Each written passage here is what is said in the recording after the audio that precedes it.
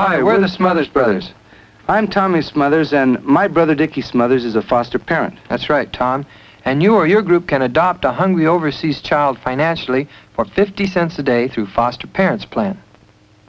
Wait a second. What can you do with what can you actually do with 50 cents a day? I what mean, can you do with 50 cents a day? Yeah. Plenty.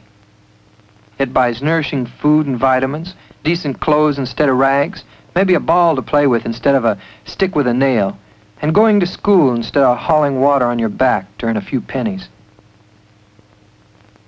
Tommy, when I got the picture and case history of my little foster daughter, Mui, she looked scared, and then her future didn't look too bright either.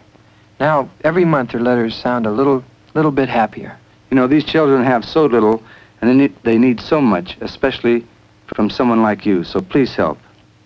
Write Foster Parents Plan, Box 944, New York, 10008.